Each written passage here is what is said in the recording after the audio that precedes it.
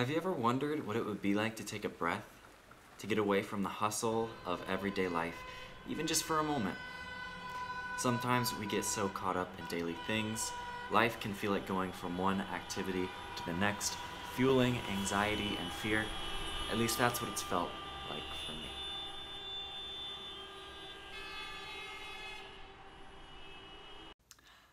I am going to be meditating for 60 days. That's a lot.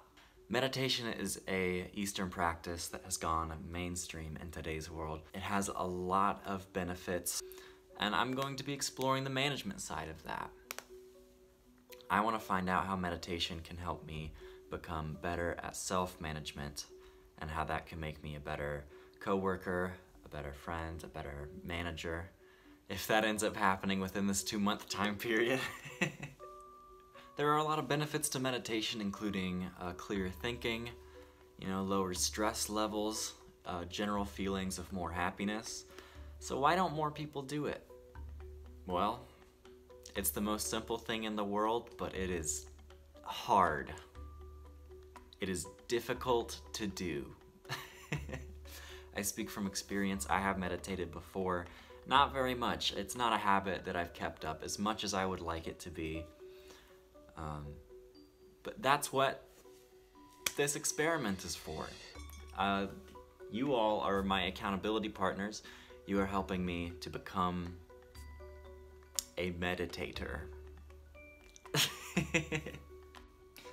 this is my wall that I am using to keep track of all of my meditation times. This is today. September 20th, that is when we start. And after I meditate today, there will be an X on this wall. This is how you are keeping me accountable.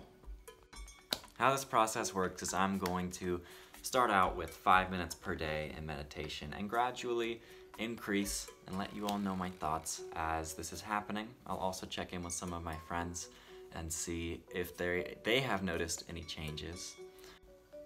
I don't have very high expectations right now. I don't think anything's gonna be super life-changing. I honestly don't know that much about technique um, or uh, how to do it other than sitting down and thinking about your breathing and that's about it.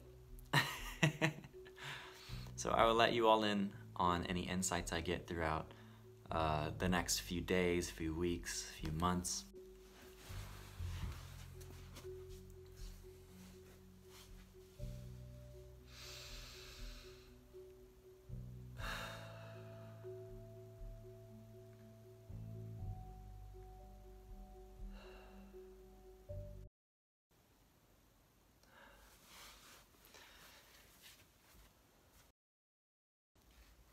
First meditation was a little rough.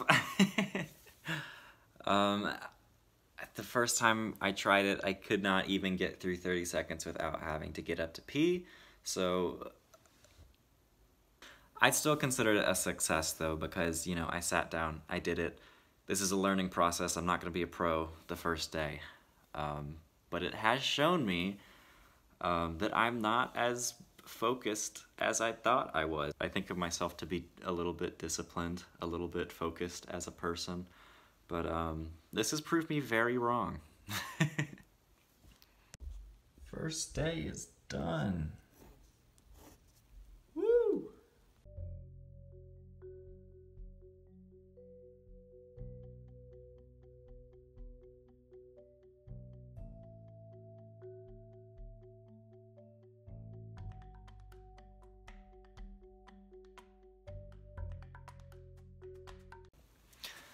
So one week check-in. So far, so good. Um, out of all of the things I've learned about meditation this first week, I think back support is the number one. I think you really need some good back support to be able to be sitting in the same place for a long period of time. That kind of makes sense, huh? After my meditations, I do notice that I am a bit more, um, just in general, calmer a bit more focused on whatever task I have coming up next, which is about what I expected. Um, it doesn't end up lasting for like a super long time though. That's also something I've noticed. I think like once I stop meditating um, and kind of get back into my day, other things start to take over and you know, my mind is back into that headspace that it was in before. But week two, I am starting on 10 minute meditations per day. So maybe that'll help uh, me a bit more throughout the day to feel more so in that calm meditative state. We'll see.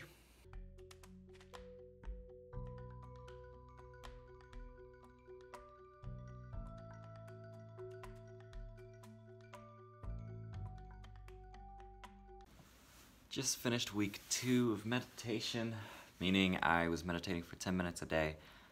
Um, so far, still going good. I missed a few days last week, but uh, we're gonna try again. We're shooting for six out of seven days this coming week. I'm gonna stick with the 10 minutes a day. So far, it's been going um, good. it's been a little bit tougher at first just because uh, it feels a bit longer, but once I got used to it, um, I think it helped me a bit more than the five minute meditations just because it wasn't in and out. You know, I sat here for 10 minutes to take everything in, and it just gives me, I feel like I have more space to think or to not think, to try not to think uh, in 10 minutes, uh, more so than five, which makes sense. And I am excited to see how 15 minutes or even increasing more than that would affect this. Um, I think it would probably give me even more space to think, but it would also probably be more difficult. We'll find out.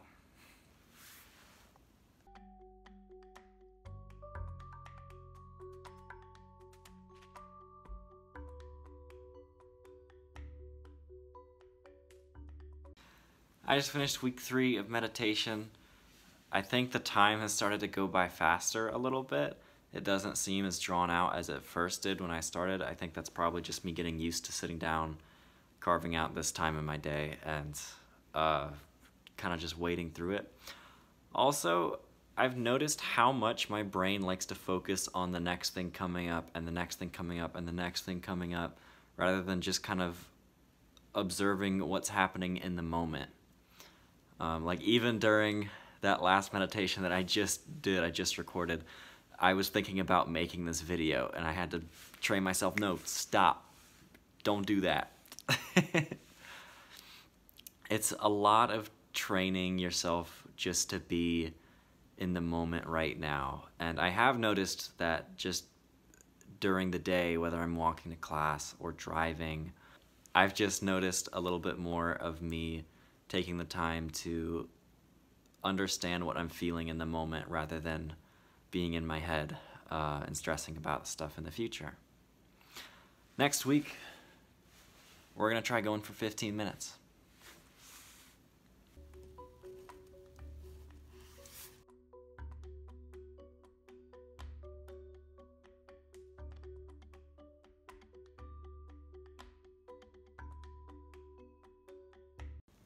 Meditating directly before an event that you might be late to is not a good idea.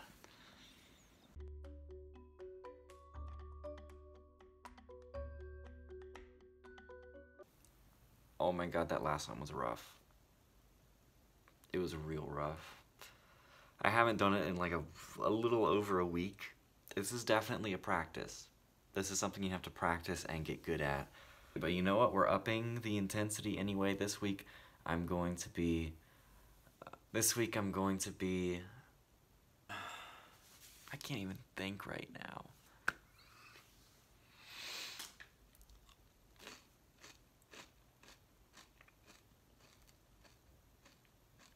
I'm going to be meditating for 15 minutes a day, twice a day, so a total of 30 minutes, once in the morning and once at night. That was really confusing. Let me try that again. I'm going to be meditating twice per day for 15 minutes each, totaling 30 minutes. That sounds better.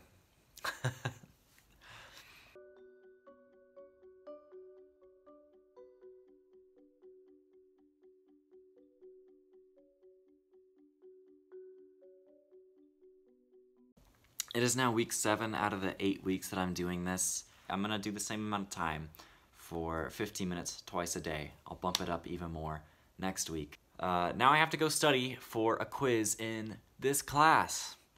Good luck, guys.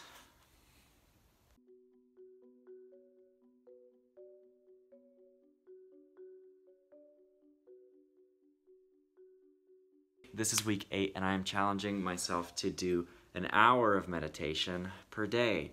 Uh, great idea, Luke. so I'm going to be meditating uh, either twice per day for 30 minutes, uh, or more likely one time per day at an hour each interval. And that sounds really tough, but I'm going to try it, and I'll let you guys know how it goes.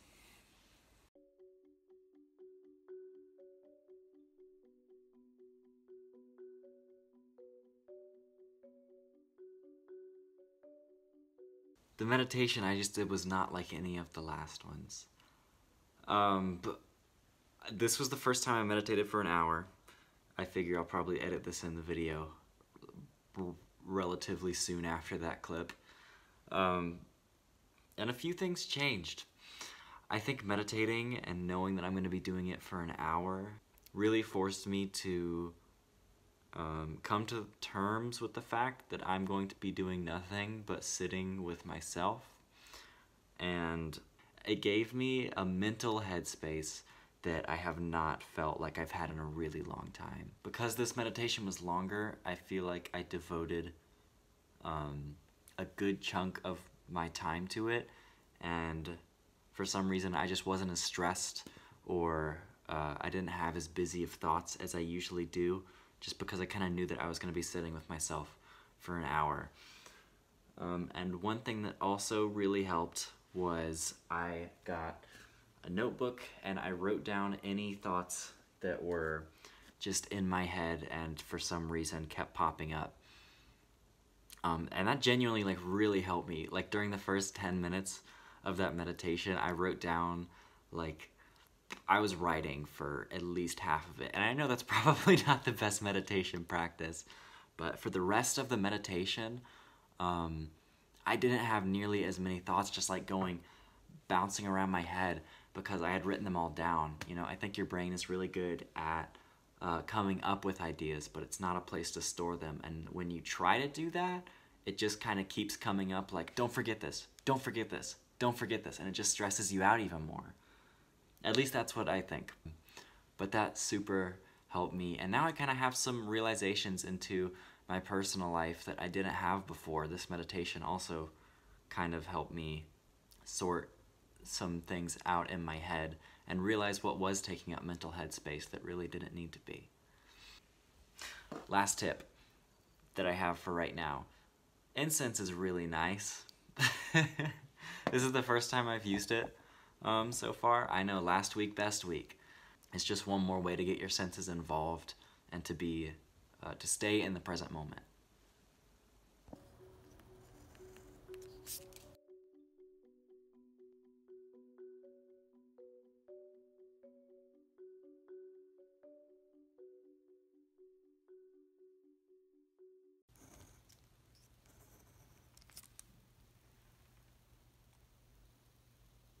So I'm back after eight weeks and I want to share what I learned. First off, meditation is hard.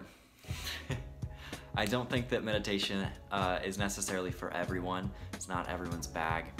Um, but it's worth a try.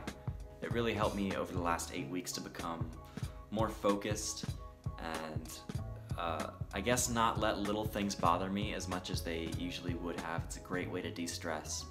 I know some people can also get the same de-stressing effect through any kind of activity that's just kind of turns your brain on autopilot.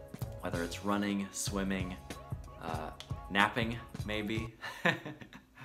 the second thing I learned is that meditation brings clarity. It has really kind of, uh, in many aspects of my life, professional and personal, brought clarity to subjects that I had not yet understood things that I didn't even know that I was dealing with, things I didn't realize were bothering me as much as they were. Uh, I kind of observed my thoughts while I was meditating, and this led me to a lot of realizations that made my life a lot less stressful, a lot uh, more free. I was able to have present conversations with people in my life that I needed to problem solve with. Uh, I know this is very vague, but ultimately, meditation has led me to clarity on a lot of subjects in my life, just as a whole. The last thing that I learned is that meditation is absolutely huge. it's such a wide topic. There are so many avenues to go down, so many different kinds of meditation, uh, which I didn't realize when I first went into this, but I am only scratching the surface. If you're interested in also starting meditating, mindful.org has uh, an amazing website for people looking to start. It's got meditation practices, how to do it, why to do it, um, other resources I would recommend. Uh, Nathaniel Drew on YouTube. His meditation videos, uh, specifically the one year of meditation recap, inspired me to start taking this journey to see what benefits meditation had for myself. And lastly, Headspace is an app that you can use to uh, have guided meditations. And the meditations on there have been super helpful, better than any other ones that I found on YouTube. Uh, I very much enjoyed them. Sam has a very soothing voice. Ultimately, if you take anything away from this video though, I hope you try this out for yourself because it's definitely changed my life in a lot of good ways. Like I said before, meditation isn't for everyone, but it might be for you. Uh, and my one biggest piece of advice is use back support.